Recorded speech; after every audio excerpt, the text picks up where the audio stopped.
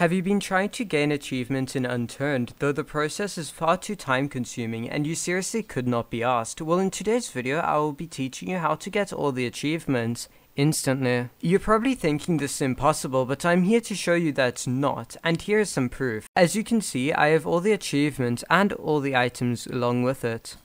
First, go to the link in the description that will take you to a GitHub link to Steam Account Manager.